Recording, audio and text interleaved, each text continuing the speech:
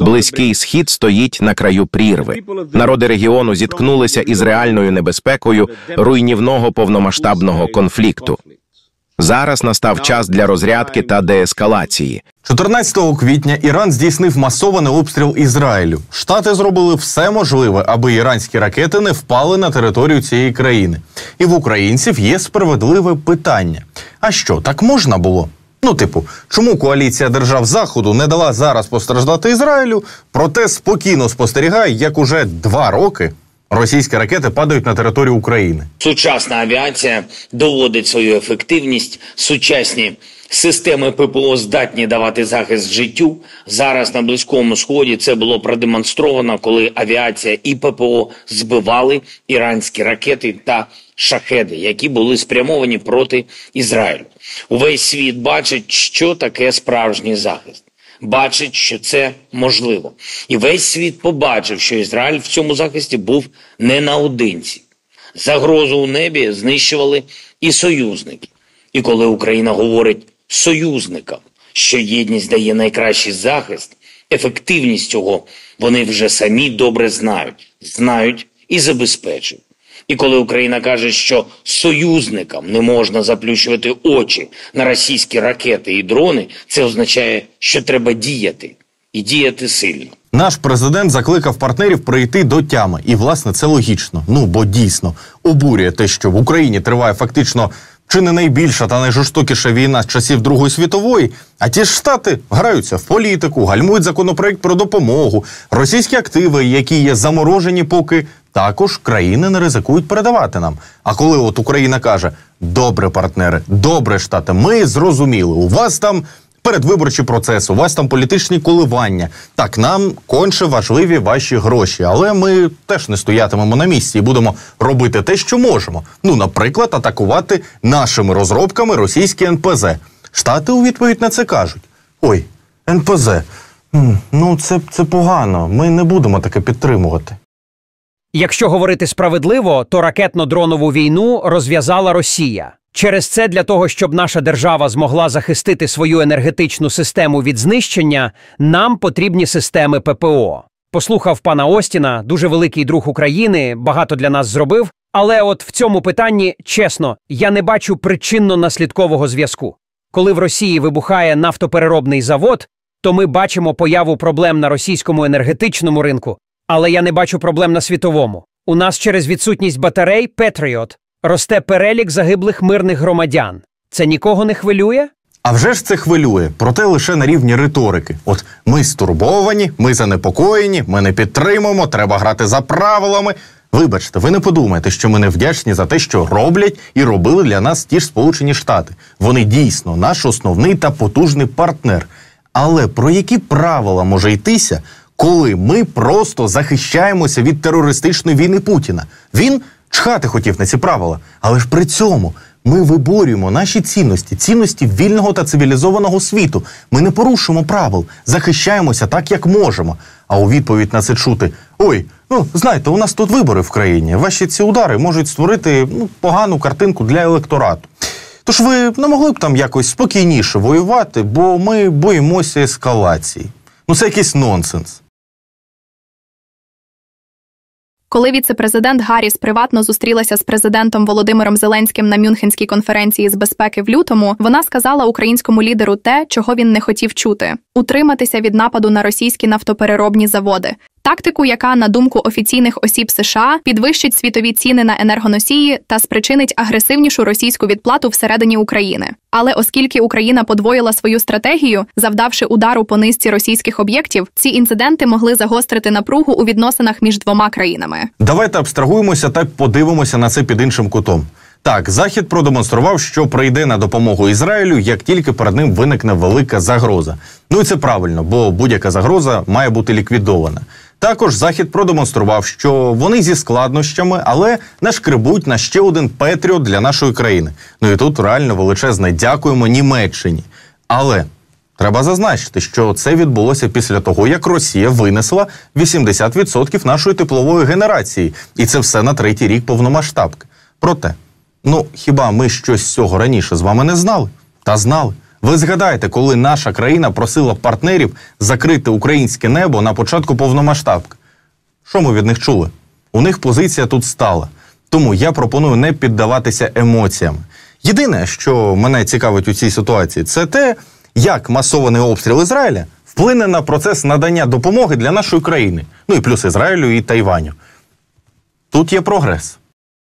Лідер більшості у Сенаті США, демократ Чак Шумер, заявив про досягнення консенсусу щодо допомоги Україні та Ізраїлю. Конгрес має діяти швидко, щоб відправити допомогу обом країнам. Посадовець висловив сподівання на прес-конференції в Нью-Йорку, що цього тижня вдасться щось зробити для допомоги обом країнам. Він зазначив, що найкращий спосіб направити допомогу Ізраїлю та Україні це прийняття палатою представників схваленого Сенатом додаткового закону про національну безпеку, який включає допомогу обом країнам. Але треба адекватно розуміти, що вірогідність того, що низка республіканців продовжуватимуть затягувати цю справу, вона існує, оскільки вище згадану політичну гру ніхто не скасовував. Яскравий приклад цьому це спроба міністра закордонних справ Британії Девіда Кемерона під час візиту до штатів переконати Трампа розблокувати допомогу нашій країні. Спойлер, у нього не вийшло. Однак він ще зустрівся із держсекретарем Блінкеном. Там вийшов і сказав геніальну фразу. Я зацитую: Велика Британія і Сполучені Штати Америки об'єднані в підтримці України в її боротьбі з агресією Путіна. Ми виступаємо за свободу і демократію, коли вони під загрозою. От здавалося б, так? А що тут не так? Запитаєте ви мене. А я вам відповім.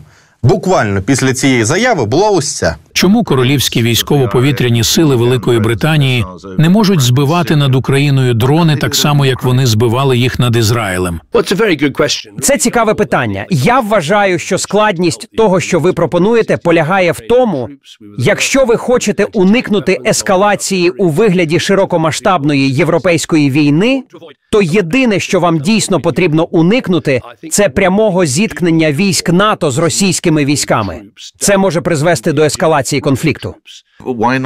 Але чому б не збивати безпілотники? Ми робимо все, аби допомогти Україні збивати БПЛА. І до речі, використання літаків не обов'язково є найкращим способом збивання ракет і безпілотників. Тут системи повітряної оборони є більш ефективними. І це досить дивно. Ну реально, яка ескалація?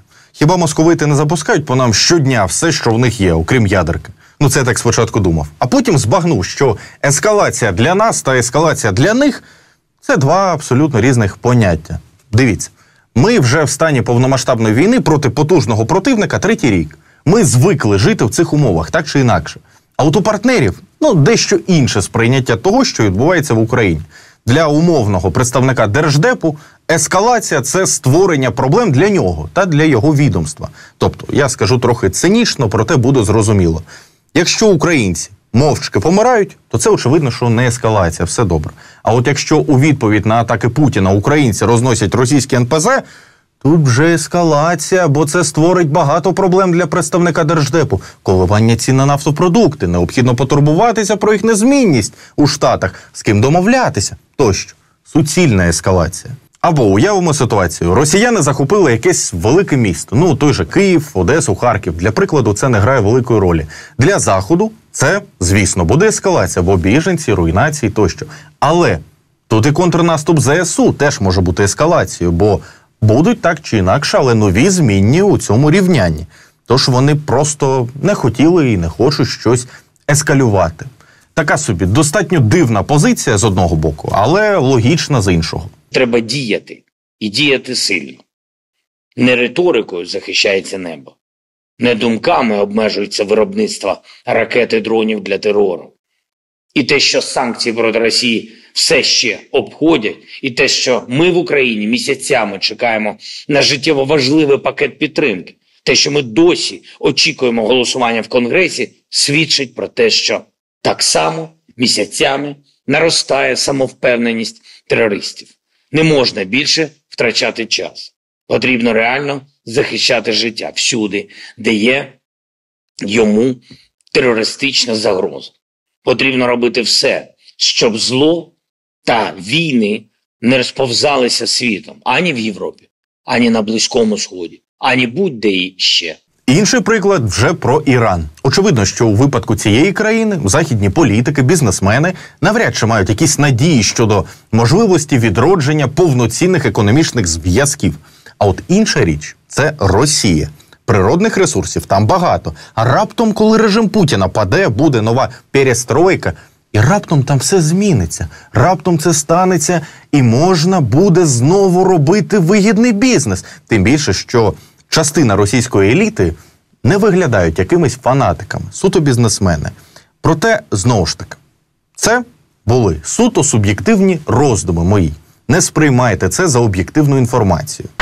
Для світу важливо, щоб е, США продовжували відігравати цю ключову роль у міжнародних справах. І коли ми зустрічаємося сьогодні, я помічаю деяку приховану невпевненість у собі серед деяких американців у тому, якою має бути ваша роль у світі.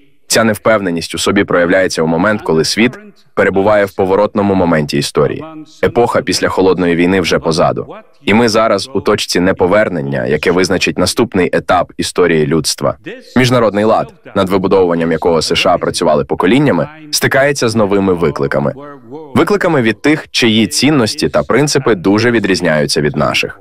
Свобода та демократія під загрозою по всьому світу. Хто б міг подумати, що у 24-му році прем'єр-міністр Японії, яка 1945-го зазнала ядерних бомбардувань з боку США, виступаючи зараз перед американським конгресом, дорікатиме штатам за невпевненість у собі. Скажіть. Проте, так чи інакше, США не буде вигідно, якщо Росія переможе, оскільки тоді Китай побачить слабкість свого суперника та неодмінно цим скористається. Штати це прекрасно розуміють. Тому особисто я вважаю, що допомога Україні буде і надходитиме вона і надалі в різних виглядах. Головне, що наша влада активно працює над розвитком українського виробництва, бо логічно, що наша мета це не залежати ні від кого та сподіватися виключно на свої сили. Тому не втрачаємо здоровий глузд та критичне мислення.